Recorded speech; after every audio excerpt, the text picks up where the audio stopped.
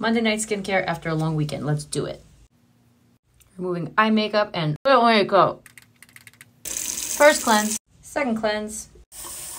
Hydrate. This stuff right here is excellent for pores, for bumps, and also for texture. Now I just need to seal in all that moisture. I like to keep this on for five minutes. Ring fingers for the eye cream. Skin barrier strengthening oil. And of course, can't forget the neck. And here's the final skin.